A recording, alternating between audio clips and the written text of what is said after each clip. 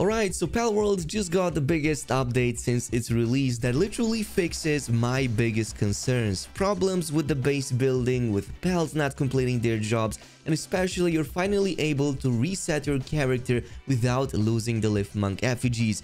Plus many more we're gonna discuss in this video as I did a bunch of tests, so let's jump right in. Let's get started with my favorites. They finally made it possible for you to still move when you are fully over encumbered. So now what you're going to notice is that your character will instead move at a very slow speed. This is going to be possible no matter how much weight you have after going or exceeding the limit of the red zone. So if you have like 1700 or 34,000, you're still going to move at the same speed. Albeit very slow, it's still going to give the possibility to at least close the distance and bring them back to your next deposit box. Another major change is that players will no longer pass through walls when dismounting and I actually put this to the test, it's absolutely true, I actually tested possibly the most tight cave in the entire game, I went on my Jetragon and I tried to clip as much through it as possible, but it just didn't happen. The character just gets placed down at the bottom of that location without clipping through any walls, so I'm glad to say that this is 100% fixed. Previously, you would just get stuck through a ton of tunnels and a lot of the dungeons when trying to go with your dragons or with your oversized mounts. Well, fret no more, this is now fully fixed. Another one is that they fixed an issue with the strengthening of the Lifmunk effigies which were getting reset when using memory reset drugs. So again, I went ahead, I crafted the drug and yes, it's totally possible to finally reset your character without suffering from any bugs. So if you had any problems or did not properly build your character focusing on the weight limit, focusing on the HP and the stamina, then you can finally go ahead and do so again. Now, it's going to take a while until you can craft the memory reset bug at the electric um, medicine station, but it's totally worth it if you messed things up in the early stages. Another one is that they fixed an issue where armor could be equipped in the wrong slot. I again tested this no longer works. Previously, you could have one, two, three, even up to four different armor sets equipped in different slots, especially in the accessory ones. So yes, that's also been fixed and you can no longer stack those buffs. And finally, another one of my favorites in the player issues category, they adjusted the camera position of several pals to make it easier to see when mounted.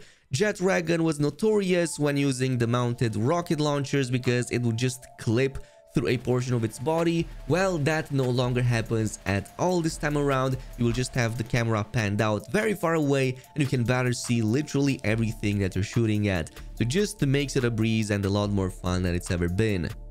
Let's move over to the base issues though because I absolutely love these ones and especially for all of you breeders out there you will be very pleased to know that when you manually assign pals to breeding farms in the new update they will no longer become hungry and their manual assignments will no longer be removed. I'm sure that many of you noticed that your pals kept going back to eating or reverting back to other types of activities.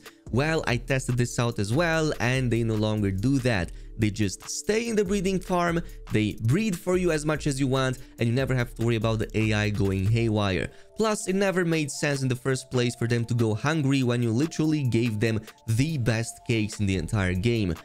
Another pretty significant change is that the key to lift pals has been changed from F to V and on the gamepad from X to Y. In order to prevent accidents and let me tell you it does make a huge difference. In this case you no longer have to worry about accidentally activating other stuff like accidentally mounting your dragon or just accessing some of the other base elements. You're just going to be able to pick them off the ground even from the middle of the most packed farm and bring them to wherever you want to Moving on, we have reduced the speed and range of fire spreading on wooden buildings. This might help a ton when you create wooden structures so that raids don't destroy them as easily. They also fixed an issue where manual work assignments could not be set at all under certain circumstances and I'm sure many of you noticed this too, getting that red error message with your PAL not being able to detect any work in the area. So that I can confirm it's been fixed. However, still keep in mind that you will get that error if that PAL is on cooldown or when they don't have the capacity to use that assignment. Moving on, we have fixed an issue where extremely high level Relaxaurus would attack the base during the raids. Another one is that they added several measures to prevent base spells from getting stuck. I finally noticed this also being the case Though keep in mind that you can still wall off pals if you make your base a little bit too tight. For example, maybe placing too many objects very close to one another, they might still bump in them, but eventually they will find a way around and they will still make their way to their destination. And from here, it's just a ton of fixes to pals not doing their jobs properly, so fixes to them getting stuck while transporting items and even dropping them on the spot without bringing them to their destination. Others include continuing to cut down trees that were already cut, also, just dying in general or being on the verge of death due to unexplained falling damage and even like floating under some conditions has been addressed in this case. And finally, they fixed an issue where if a farm was built on the second floor or above, work pals would be able to move on the floor below. This was, um, yeah, just a bug previously that prevented them from moving. There are a few more, but more in the corrupt save file category, so they implemented a fix for that too for when the game would always crash and save data would be corrupted when the guild's total number of pals captured reached around 7000. So a quick note here is that the game no longer crashes even if the total number of captured objects exceed 7000 However, the save data that has already been corrupted or in this state, so for example in the case of a server, the server's world data prior to this update will still be unable to load. So they are still working to fix that on a permanent basis, but still keep in mind that maybe your old save files might not work because of that. And there are many other crashes that were also addressed, so just the game world crashing in general. Another one was for the player pals, including the ones at the base. Um, if they were below 30% HP, it could be possible to be captured by another player, so that was also addressed. And they also fixed an issue where enemy pals would get stuck in walls due to the charge attacks. I'm sure that many of you noticed that, especially during raids. And of course, last but not least, a feature that you probably didn't even know was missing, or maybe you did, but they added support for mouse side keys and numeric keypad on keyboard key configuration, so that you can now bind certain actions to these keys as well and just have quick access to them, especially if you have something like a gaming mouse or just some of those shortcuts on your keyboard, gaming keyboard, you can totally make use of them, but it should also work on general mice and whatnot.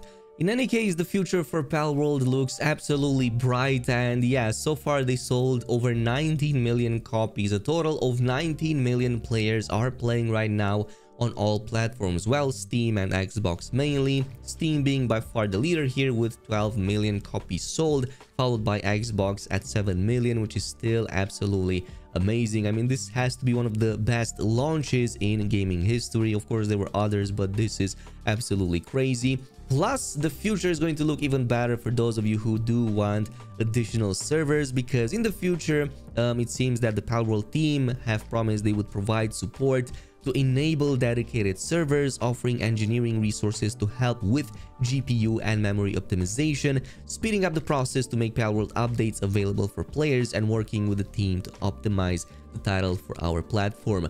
So lots of stuff coming up. As always, let me know down below what you think. Thanks so much for watching and I'll see you in the next one.